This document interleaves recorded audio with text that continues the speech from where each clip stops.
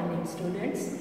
Let us start in our chapter number 4, the last portion, element of delegation of authority.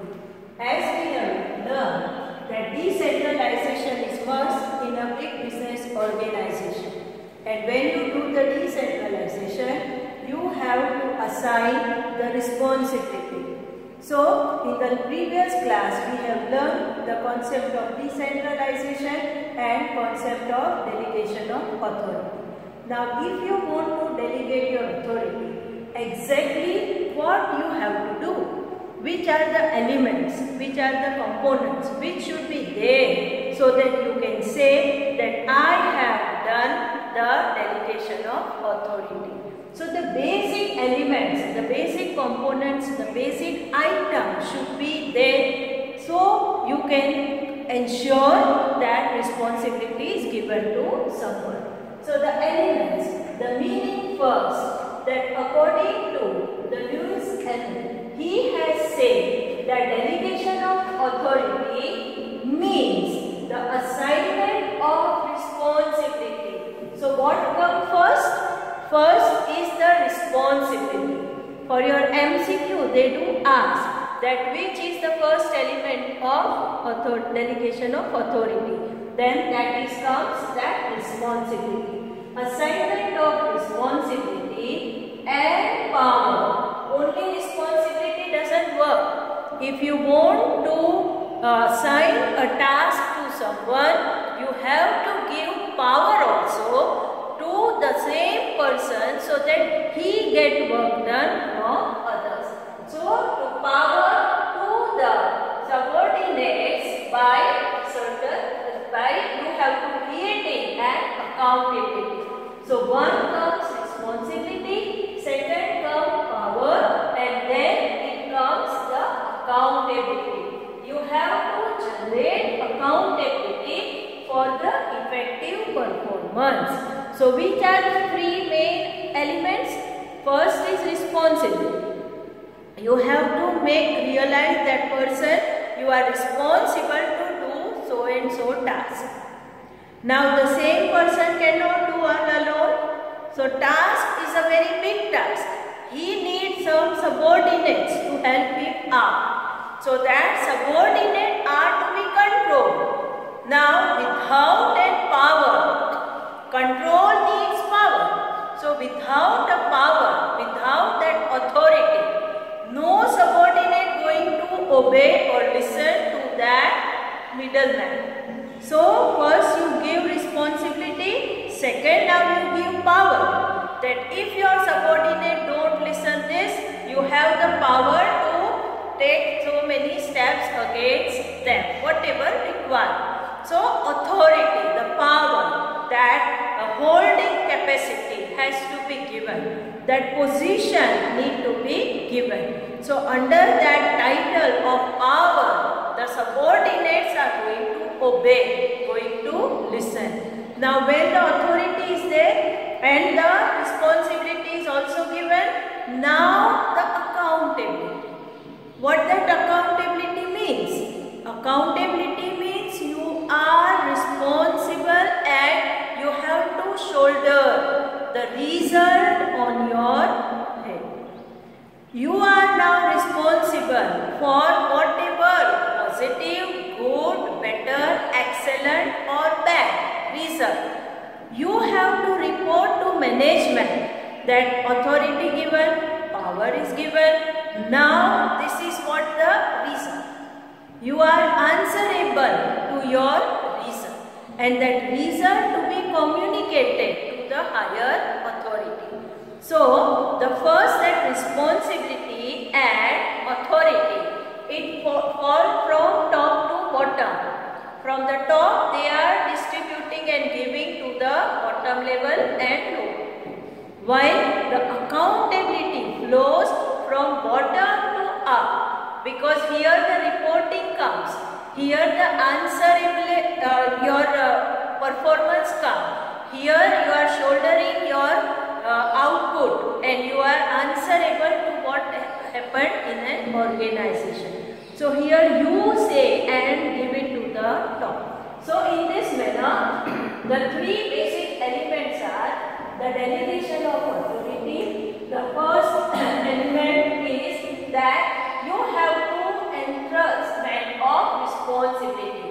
You have to give, you have to assign, you have to hand over. So responsibility is to be handed over. So in this what you are doing? You are giving duty first. First assign the duty.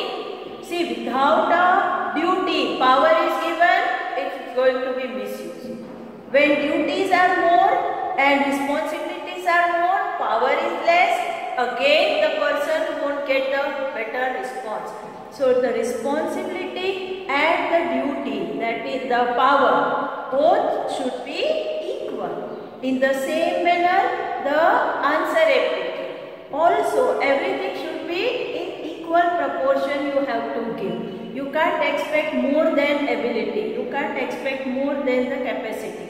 And you can't expect that the person has to do. So whatever you give, the duty to be assigned first by the top management to the subordinate for a particular work. What work you are expecting precisely clearly mention on paper and assign that responsibility to the person. This is flow from the top to bottom level. From top management, the responsibility are distributed. We have learned in decentralization. You are dividing, you are reducing your load. One man cannot do everything. So we are part of your total responsibility, you are sharing the others. So that is what called your element, uh, first element of your delegation of authority. The second element says that you have to do the confirmation of authority. When the duties are given side to side in equal proportion, the authority also has to be given. So the second is authority. Authority means allotment of power. What you are giving, you are part of power also you are assigning to that person. In the same proportion, keep in mind, it should be in the even proportion. This also, the authority also that flows from the upper level to lower level. The higher management from their total power distribute a little portion in Uh, accordance with the responsibility, they assign the power to the lower that is subordinates. The third thing that is creation of accountability. Now you have got responsibility, you also have enjoying the power for that. Now you are answerable. The middle level cannot themselves from the responsibility, from the answerability of their work. So, here the holder of that authority has to be produced the proper explanation and follow the reporting to the top management. Now you have to answer that what achievement you have done. Whether the achievement done as per the proper order or no. So that from the bottom level the, to the middle level to the higher level you are giving answer to the management. So here the middle level that cannot be free from his responsibility. Whatever task is assigned to him he has to answer the task done 100% or what. If not done 100% then why? And if done 100% then also feel happy and say that yes I have accomplished my task. So that attitude, that particular thing said as an accountability. Here the work has to be done and your accountability that flow from lower level the upper level because you are reporting, you are informing, you are sharing. So from down the message reach to the the up. Now the same three elements are to be presented in the form of a tripod. Here the picture says that the process of delegation of authority, how you have to do, it starts with responsibility, give in accordance the authority and for the work that you are getting, you are now answerable, that is accountable. Now few things to be kept in mind while this, that number one, that all are connected to one another. How much power to be given? It depends on what responsibilities are there. At the same time, what is your answerability?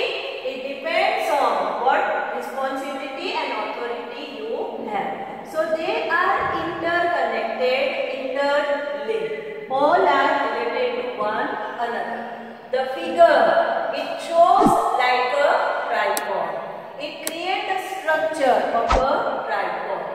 And the effective, if you want an organizational structure, that what comes with the help of the balance that you maintain in the three elements of delegation of authority.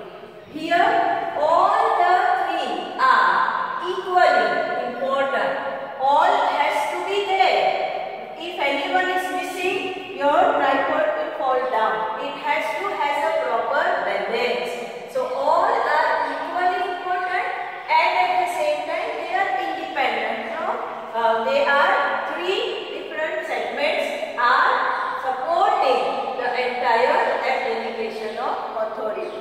So in this manner that responsibility comes first, authority depends on the portion what the responsibility has given and when you have responsibility and authority you are answerable and you have to justify what you have gained, what you have achieved. So in this manner the elements of delegation of authority question most of the time you will get in your D section that is in D section for 3 marks. So you have to prepare this question. 1 mark for the meaning, another mark for the explanation of all the three terms you write and 1 for the figure you draw. So in the board when you prepare your answer that answer is split into the various segments according to the marks allocated to them. How much portion is done correctly by the student, accordingly he will get the marks. So your presentation is very important aspect.